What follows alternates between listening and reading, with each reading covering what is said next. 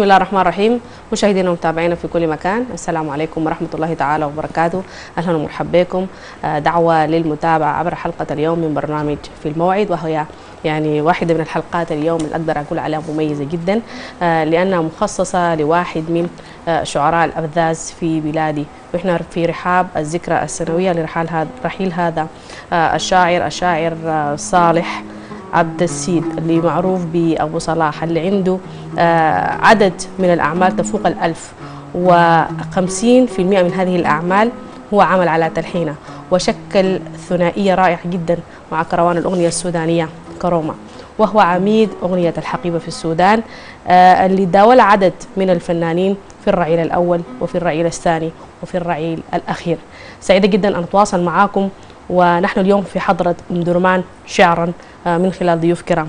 سعيدة جدا أن أرحب بالأستاذ والباش مهندس آه، بدوي أبو صلاح الذي عمل في آه، الحقل الإعلامي في التلفزيون القومي بالسودان. أهلا ومرحبا بكم مساء الخير. مرحبا بكم في قناة الشروق ومرحب بكل المشاهدين في كل أنحاء السودان.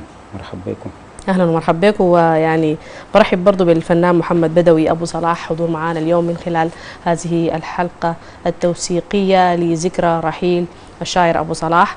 أنا بحييك وبقول لك مساء الخير ونعمل افتتاحية كده للمشاهدين. مرحبا بكم ومساء النور على كل الشعب السوداني الجميل. وأسعد جدا أنه أكون معكم اليوم على قناة الشروق القناة الجميلة السودانية الأصيلة. الله يكرمك.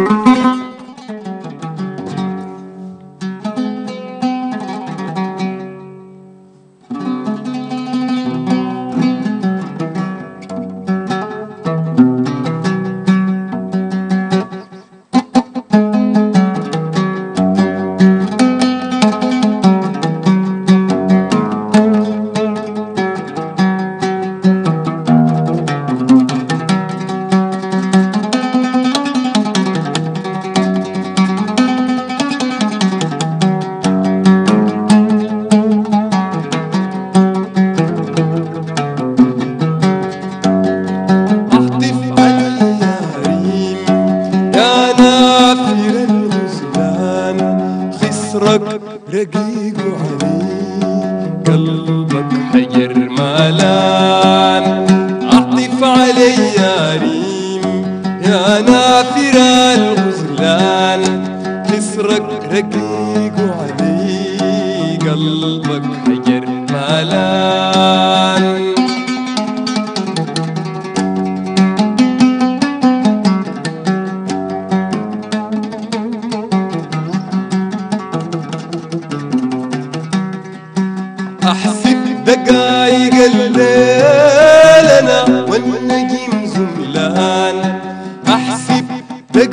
الليل والنجم زملان تابع هواك ومجافي الأهل والخلان. أعطف علي يا ريم.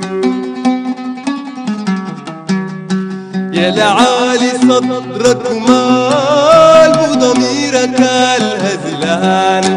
يا لعالي صدرك ومال وضميرك الهزلان لو عيني تنظر خدك ومت ما زعلان.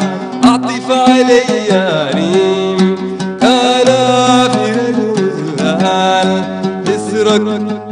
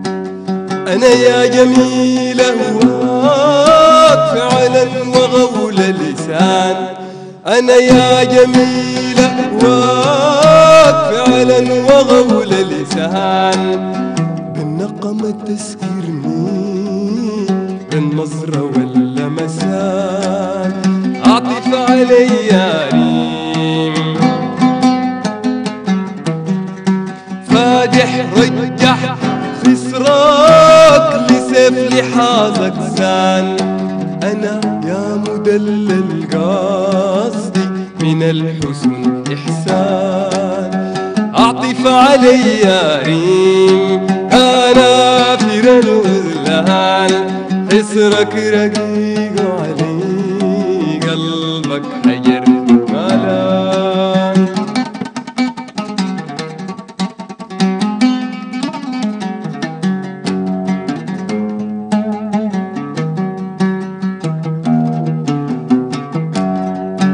يا أكحل العينين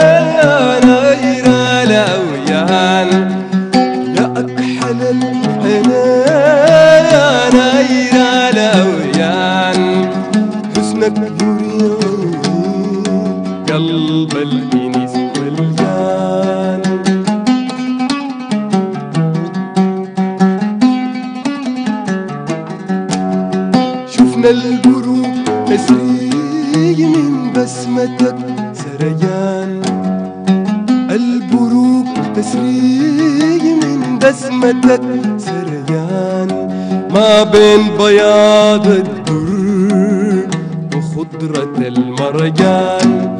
أعطف علي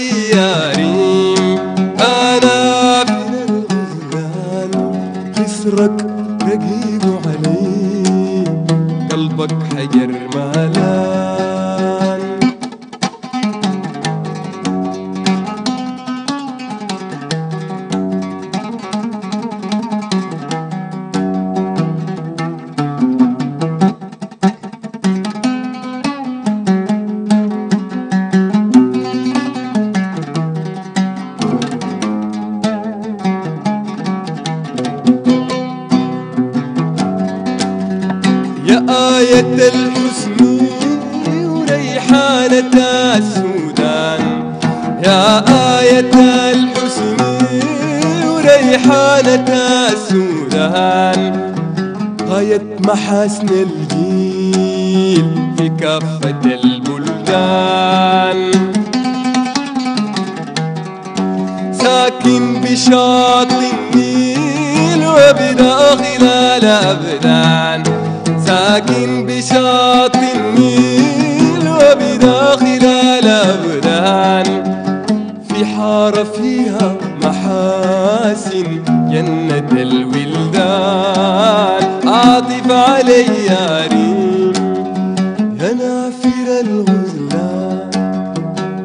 خسرك رقيق علي قلبك حجر ملان شكرا جزيلا محمد بدوي أبو صلاح وكل مشاهدينا دعوة للمتابعة من جديد عبر ضيوفي الكرام. والذكرى السنويه لشاعرنا الكبير أبو صلاح هذا الشاعر الذي أمطر السودان شعرا وكان أكثر شعراء هذه البلاد كتابة لشعر الدوبيت خصوصا في العاصمة الخرطوم. سعيدة جدا بضيوفي مرة ثانية. ولما نتحدث عن الشاعر الكبير أبو صلاح معناه بنتكلم عن الحياة الفنية والحياة الاجتماعية في السودان في ذلك الأوان أو في ذلك الزمان، لكن خلينا نبدأ بالميلاد والنشأة والجذور لهذا الشاعر الكبير. آه، في الحقيقة الوالد أبو صلاح مولود في مدينة أم درمان بحي المردة عام 1890 ميلادي. وتوفي عام 1963 في أكتوبر 30 أكتوبر. وقرأ في خلوة المرحوم حسن حسين بالمردة ولما آه، أخذ سبع سنوات آه، التحق بمدرسة الأمريكان سابقا حاليا مدرسة وادي سيدنا. صحيح. ثم انتقل أخيرا إلى الخرطوم بحري مع أسرته والتحق بمصلحة الوابورات في تلك الفترة. ولما بدأ العمل في تلك الفترة في خزان سنار استقال من العمل في الوابورات وعمل في الأشغال الحرة حتى تاريخ وفاته. نعم. وبدأ يكتب الشعر وعمره 14 سنة وبدأ بكتابة قصائد تسمى قصائد الطرد. وقصائد الطرد تعني القوه حماس الح... هي كلمات بتعبر عن الحماسة والقوة في الفترة دي طبعا كان ال- الغنى لسه ما اكتمل بشكله الحالي. كان النساء بيرددوا الأغاني بالدلوكة. نعم. وأبو صلاح في سن صغيرة بدأ يجمع من دواخله وكان يعني عنده طموح عالي في كموهبة والناس دي الاصطفاء الشعراء دي كان اصطفاء يعني الشعر هو لا بيورث لا بتقري لا يعني أشياء في وجدان الإنسان ومما يكون طفل موهبة بيكون خاصة، نعم. موهبة بت- في دواخله. فبدأ أبو صلاح ذاته كان يعني بيتجول كثير ولف ولاية السودان طبعا مواليد أم درمان لكن كانت أم درمان في تلك الفترة مدينة صغيرة طبعا وبسيطة. لكن أبو صلاح تشبع ب يعني تجواله في ولاية السودان. السودان. كانت طبعا بطبيعتها الجميله و وخضرته وكده. دي زادته وكان طبعا بحر ذاتها على. على النيل وكده. فالالهام بدأ من خلال سن صغيرة.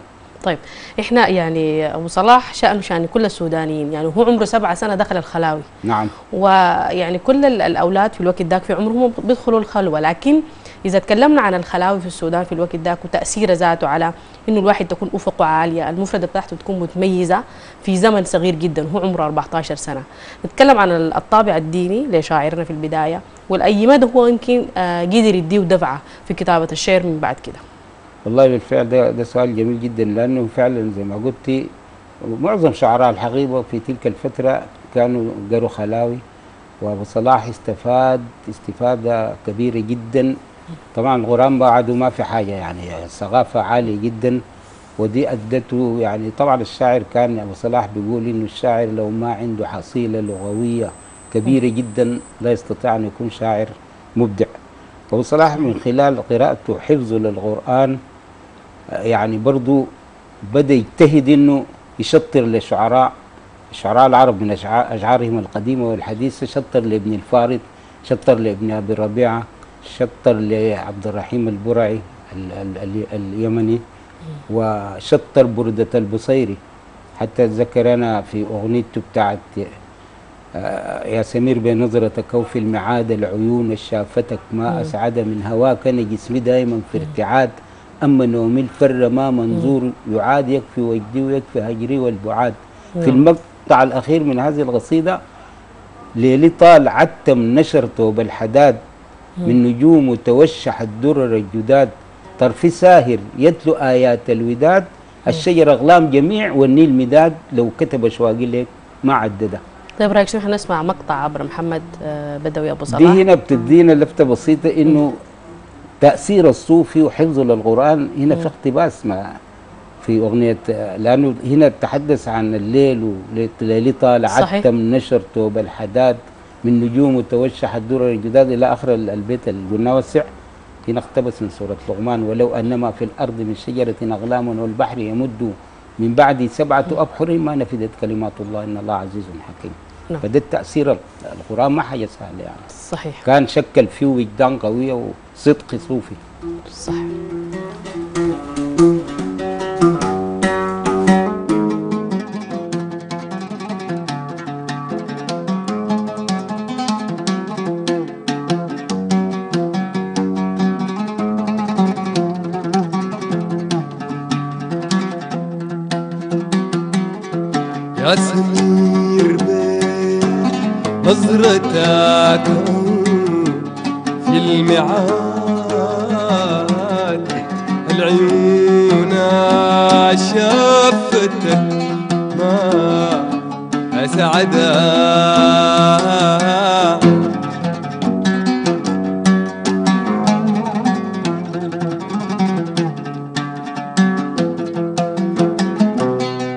ليلي طالع الدم نشرته الحداد من نجوم يا والشحات درر الجداد. طرف ساهر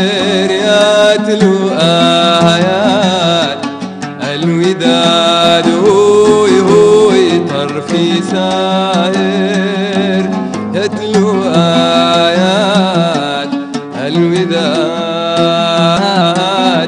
الشيارة غلام جميع المداد. لو كتب أشواقي لك ما عددا. الشجرة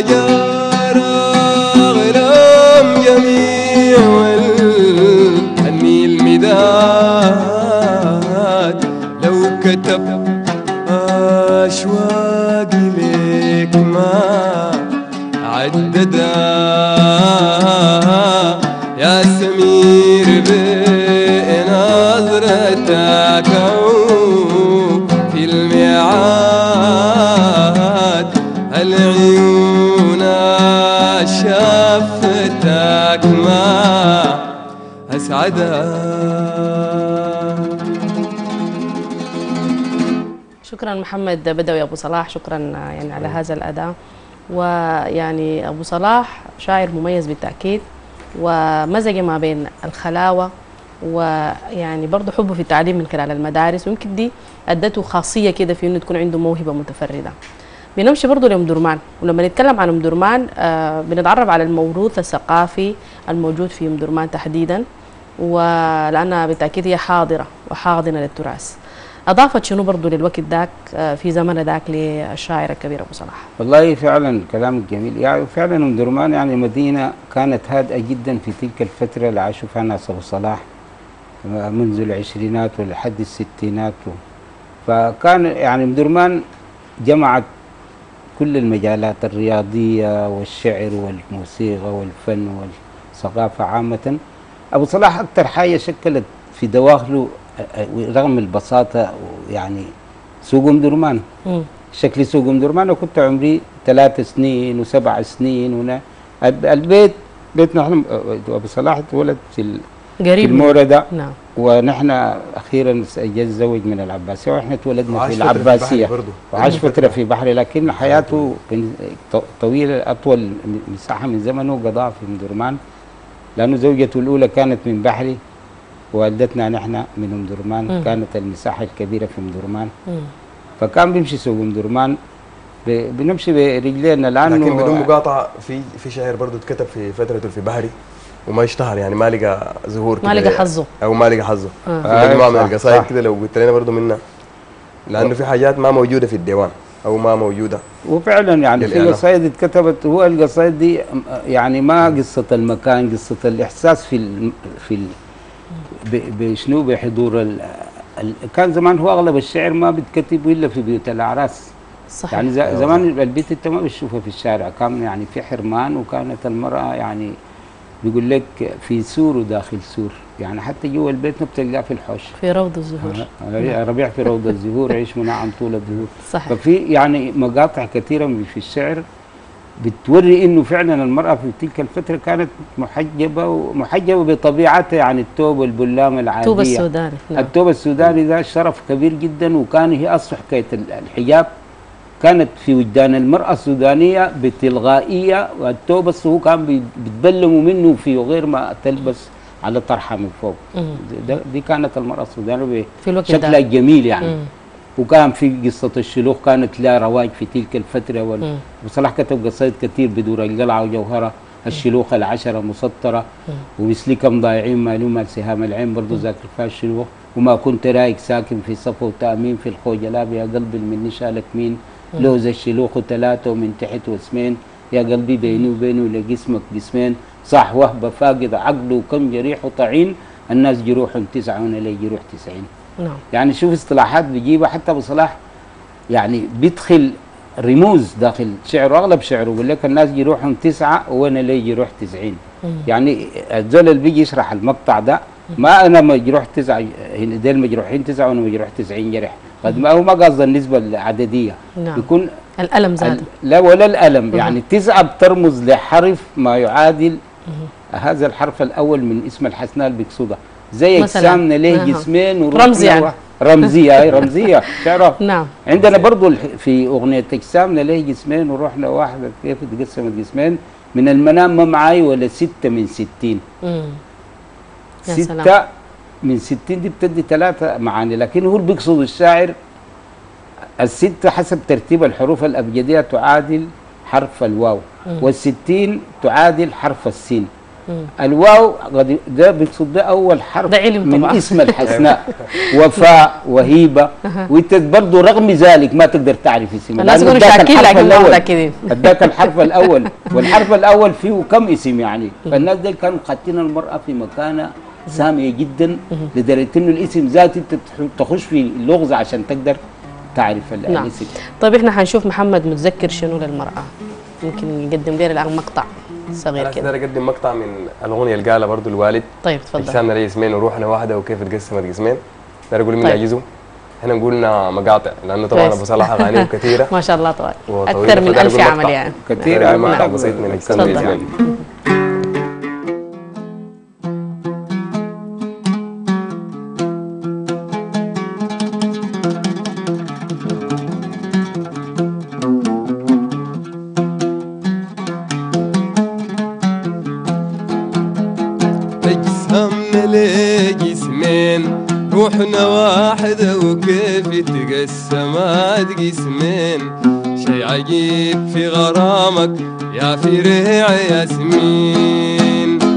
من المنام. معاي ولا ستة من ستين عندي التلت. من عقلي وعندك التلتين. شي عجيب في غرامك. شيقاني بس مدفاك ودرعي قد متين. لولا ما لي صالح في الزلال والتين شي عجيب في غرامك. ريع ياسمين جسمنا لجسمين. روحنا واحدة وكيف يتقسم الاسمين شي عجيب في غرامك يا في ريع ياسمين. أنا يا حبيبي تجدني على هواك أمين وفؤادي يحيد عن أفكاري في التخمين. شي عجيب في غرامك وحواسي تحسن نظري لحسنكم تضمين شمالي تاخذ الغيرة إذا جلست يمين. شي عجيب في غرامك يا في ريع ياسمين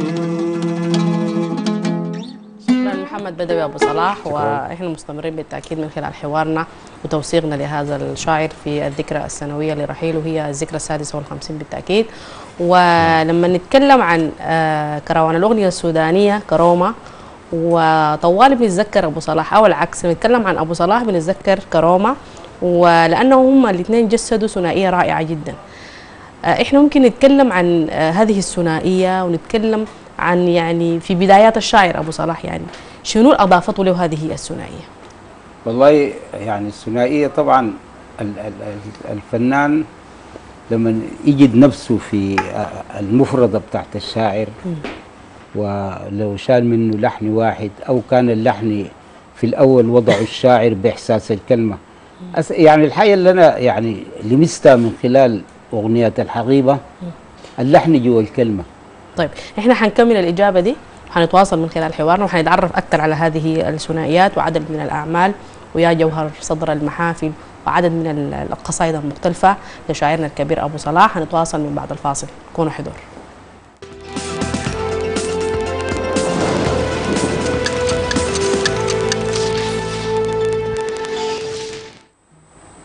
مساء الخير مجددا كل متابعينا. دعوة للمتابعة والمشاهدة عبر حلقة اليوم من في الموعد. وأنا برفقة الضيفين الباش مهندس بدوي أبو صلاح والفنان محمد بدوي أبو صلاح وحلقة توثيقية للذكرى السنوية لرحيل الشاعر آه، صالح عبد السيد أو الشاعر المعروف أبو صلاح آه، الذي كتب عدد من القصائد والذي آه، ترأس على شعر الدوبيت في ولاية الخرطوم. سعيدة بكم مرة ثانية. وبالرغم من الكثافة المعرف المعرفية والتنوع في وسائل الإعلام لكن تظل الحقيبة هي سيدة الموقف. هل ستصمد تصمد كثيرا في في وجوه الأجيال القادمة؟ والله كيف؟ لا أنا بس بقول لك حاجة يعني بسيطة. إنه أغنية الحقيبة اتكتبت في العشرينات. أول أغنية سودانية سجلت في أسطوانة سنة 1927 السودان كان ما في اذاعه ولا في شيء كان في استعمار. سجلت بالقاهرة في استوديو كان الفترة ديك في استديوهات أوديون وبيضافون هناك ديمتري البازار. ساق مجموعة من شعراء الحقيبة على دفعات مختلفة منهم علي الشايقي منهم كرومة منهم سرور منهم كروان السودان وابراهيم عبد الجليل. عصفور السودان. ف من سنة 1927 لو أغنية كتبها أبو صلاح غناها علي الشايقي غناها علي الشايقي آه وأغنية لو تجازي ولو تسمحي حنانة ريدك ما بتمحي. ونحن في ال- ال- 2019 مم. أكثر من 100 سنة ظلت أغنية الحقيبة بيرددوها الشباب. لسه الآن. بيغنوا عمرهم 20 سنة وأقل. من كده. صحيح.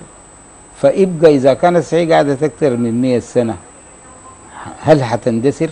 لا حتصمد طبعا. ما ما بس يكفي إنه عاصرت كم جيل. نقدر نأكد المعلومة. فن- أيوة أنا قلت ده حسب تصوري بعيكل طبعا تزوغ الناس و والشباب مع التطور الشبابي لحد جيل محمود عبد العزيز غنى ست أغاني لأبو صلاح. صحيح. ما ما غنى لا شاعر أبدا. العيش حرام. خلي العيش حرام وناي ضامر غوام كلان ويا جوهر وحبيبي. فؤادي طبعا يهواك ويا رشا يا كحيل. وع- ستة هنا غن وارحم يا سمير قلبي الما نساك المهم إنه ولا زال يا سنة يعني في في- لقيت في تسجيل بيد عمر سبع سنين بتغني في أغنية تحطف عليه يا ريم في ولاية من الولايات. إضافة بسيطة نشكر الفنان الكبير الراحل المغيم محمود عبد العزيز لأنه هم احتفلوا معنا. يعني كان أول احتفال لذكرى أبو صلاح من داخل بيت الفنان الإنسان العظيم محمود عبد العزيز. آه يعني احتفلت أنا مع أسرة محمود. محمود يوم عبد العزيز. فقيد الوطن وهو وسغ لأبو صلاح مجموعة من الأغاني. صحيح. فكانت دعوة جميلة في صالون محمود في بحري إنه احتفلنا بذكرى السنوية لأبو صلاح في الجمعة الماضية. نعم. فلهم كل الشكر والتقدير. بالتأكيد.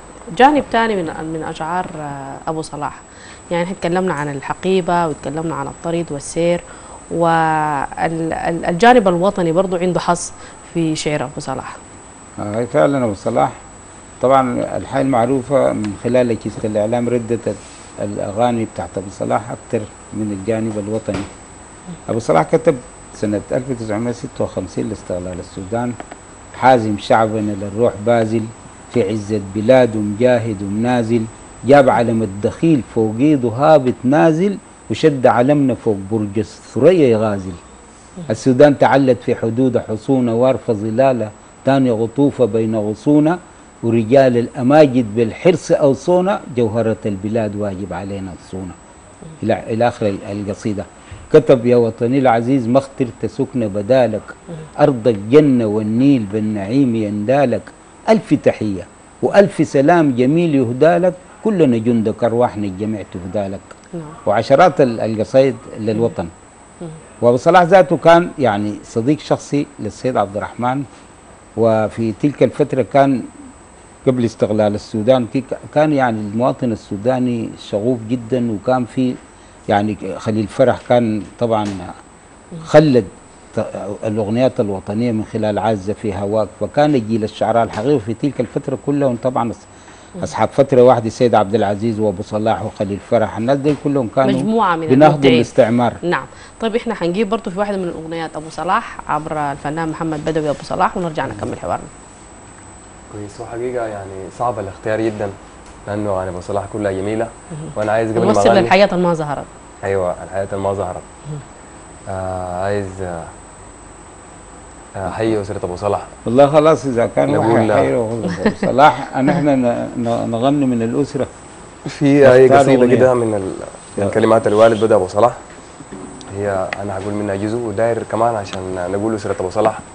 آه عوض أبو صلاح. وعبد المنعم أبو صلاح تحيه و- لهم جميعا. كامل أبو صلاح وعواطف أبو صلاح محاسن أبو صلاح صفيه أبو صلاح لهم التحية كلهم جميعا. آه عبد القادر أبو صلاح. فأنا عايز اسي أقول اغنيه هي من الأسرة من كلمات الوالد بدر أبو صلاح. اغنيه قصيرة. آه هدية لأنه أنا عندي انتاج خاص وكده. وطبعا أبو صلاح في شعر كثير ما تلحن وما تغنى. في أغنية هسي آه طلب الموسيقار الكبير الفنان محمد اللمين. هي من كلمات ابو صلاح. هي جمر حرقني حبيبي هواي جمر حرقني. في توزيع موسيقي إنها تتقدم يعني بشكل جديد إن شاء الله. للاجيال إن شاء فانا هسه حقدم لكم جزء من هي أغنية جديدة من كلمات الوالد. بدأ أبو صلاح ونرجع ثاني لأبو صلاح.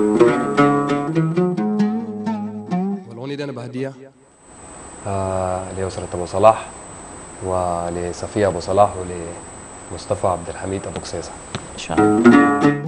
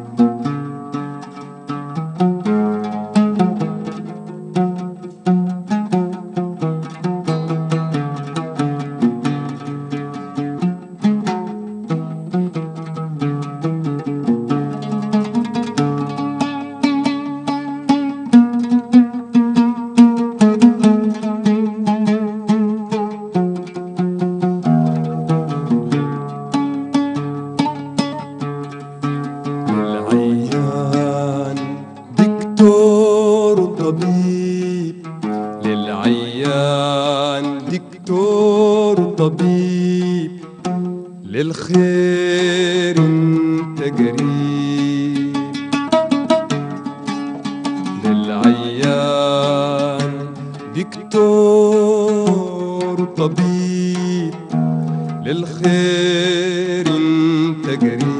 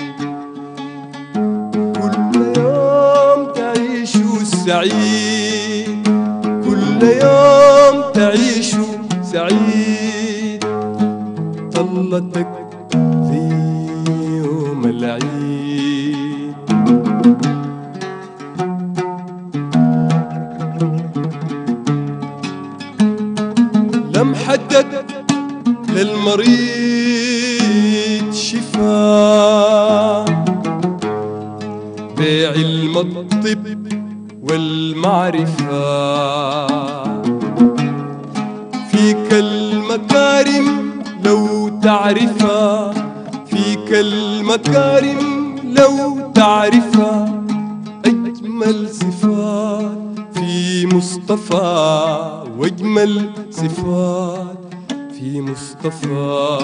للعيان دكتور وطبيب للخير انت قريب.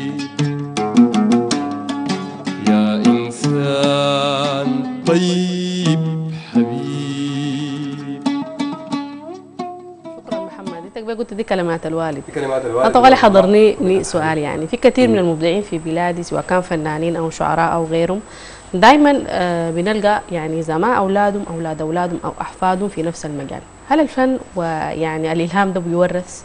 ولا دي يمكن تكون حالات نادرة في مجتمعنا السوداني أو في مجتمعات الفن عموما؟ والله الحالات دي نادرة لأنه يعني سا- يعني كبار الفنانين تشكيليين ومغنيين وعازف في- كل المجالات ما من السهولة يكون في توريث للفن.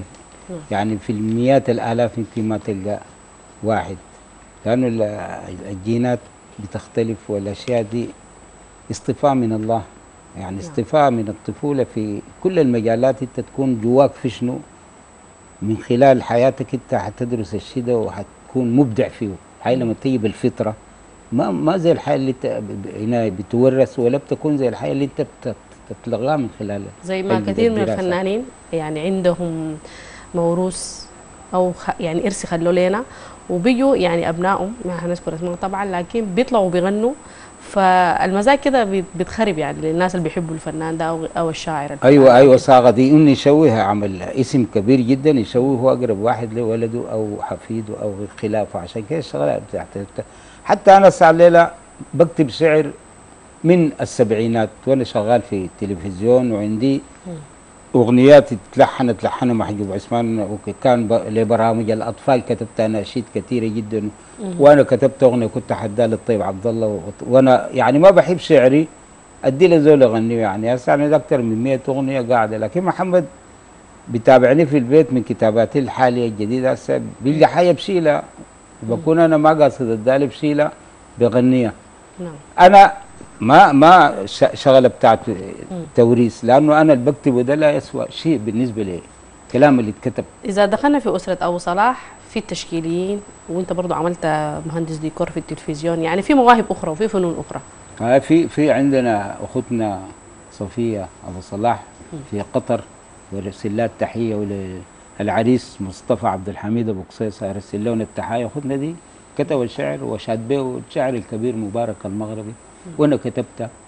وبرضه عندنا أخونا عوض أبو صلاح فنان تشكيلي كبير جدا كان الفنان التشكيلي الأول في المملكة العربية السعودية ومصطفى أبو صلاح في أمريكا برضه فنان تشكيلي كبير. ف يعني في عملية بتاعت دواخل الفن ال- ال- ال- الفنان التشكيلي والشاعر يعني بتحس بأنه الرسام أنا رسام وعلمت محمد العود ده ع- يعزف العود.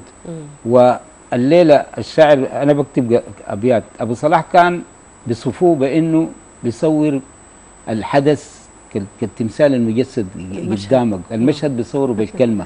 الرسام بيصوره بال- بالريشة. صحيح. فالإحساس متغارب جدا إحساس ال- الفنان التشكيل وإحساس الشاعر لأنه كله بيرجع لوصف. ال- الجمال. في صورة. وآي والمعاني الجميلة. طيب إحنا آه أبو صلاح الكلام عنه كبير. هو عنده أعمال ما شاء الله وتعامل مع عدد من الفنانين الكبار إلى الآن الفنانين ال- الشباب هم برددوا في أغنياته. آه فكرة التلحين كانت واحدة من الأفكار اللي هو قدر من خلالها يعمل على 50% من أعمال آه أبو صلاح. ودي حاجة عظيمة لأنه ما ما قدرت يعني تقلل من الحاجات التانية أو تقسم من من التجربة الشعرية. إحنا حنطلب محمد يعمل لنا عمل تاني ونرجع نتكلم عن قصة التلحين إن أبو صلاح. نغني لأبو صلاح يا قمر وفي لي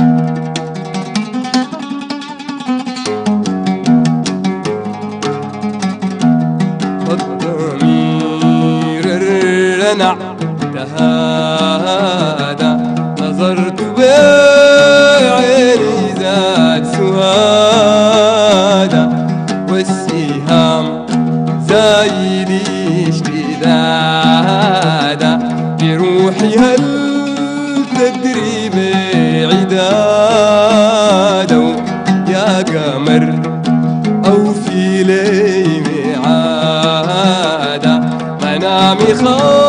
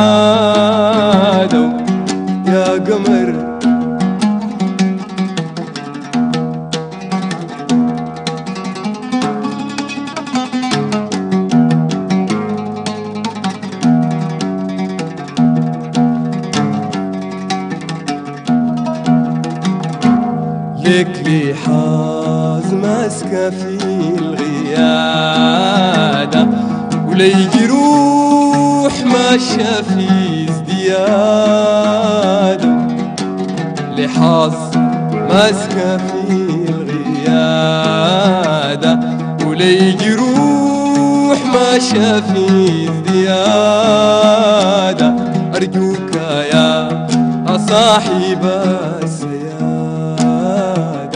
قليل مراهم من العيادة. وأرجوك يا صاحب السيادة قليل مراهم من العيادة.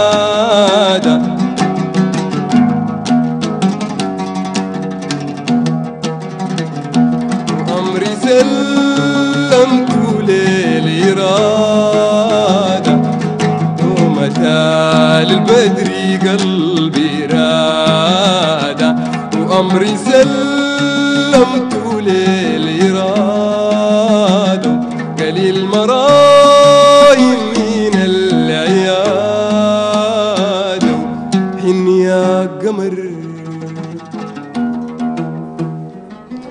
شكرا محمد شكرا على الأداء. وقبل الأداء اللحني كنا بنتكلم عن فكرة التلحين ودي طوالي بترجعنا لثنائية كرومه ويعني رغم هذه هذه الثنائية الكبيرة ورغم كتابة الشعر لكن أبو صلاح لم يقع في مصيدة التكرار من خلال التلحين. والله يعني هو التلحين أنا قبل أتذكر في بداية الكلام قلت لك أغنية الحقيبة أنا الحي اللي مستها ومش أنا. يعني. ما في شعر بتحس به ما بيتلحن أساسا حسب النصوص وحسب الموسيقى الشعرية. صحيح. لكن أغنية الحقيبه تمتاز بإنه النص بيكون في اللحن داخل النص تلقائيا. يعني هسه على لي جوهر صدر المحافل دي لو ضربنا بها مثلا. مم. كرومه لحن أغلب أغاني أبو صلاح وقلنا عمل ثنائي معاه أكثر فنان لحن لأبو صلاح. لكن في ناس بيقول لك ده ما بيقولوا لحنها أبو صلاح. يعني لو أبو صلاح جاء شال منه كرومه اغنيه جوهر بيقول لي أبو صلاح هذا الكلام ده عرفته من أبوي شخصيا يعني. قال لي أحيانا كروم بيجي يقول لي يا أبو صلاح رأيك شنو روايتك كيف يا جوهر صدر المحافل؟ أبو صلاح كده صدر المحافل روحي معاك تلطفي لا يا جوهر بالطريقة دي يا كرومة. يا سلام. يقوم كرومة حسب إحساس اللحن اللي جابه أبو صلاح من خلال النص اللي كتبه. وضع بعض الإضافات حيث لكن النسبة الكبيرة من الألحان بضع كرومة بإحساسه. لكن صح. أبو صلاح وضع ألحان. نعم إحساس كبير لهذا الشاعر اللي هو من ال- يعني واجب وطني ضروري للاحتفاء بهذه الذكرى للراحل الكبير أبو صلاح. وللزمن الكلام كثير يعني لا ما نقدر فعلا وانتهى زمن الحلقة وأنا شاكرة لوجودكم معنا ويعني شاكرة لحضوركم ويتمنى إحنا يعني نجدكم في محافل أخرى ونقدم أكثر عن هذا الفن الخالد. شكرا لكم. الله يديك الصحة والعافية. آه وصلني الآن من الأسرة في آه والزملاء في الكنترول. بننعي آه من خلال أسرة قناة الشروق الفضائية الكاتب والزميل الصحفي زكريا حامد الذي انتقل إلى رحمة آه مولاه بمدينة القاهرة. أثر العلة لم تمهله طويلا اليوم والعزاء لأسرة الراحل والزملاء في الوسط آه الإعلامي. ونتمنى من المولى عز وجل أن يرحموا ويتقبلوا في منزلة الشهداء والصديقين. آه كل المتابعين آه معنا من خلال هذه الحلقة. شكرا للمتابعة. في أمان الله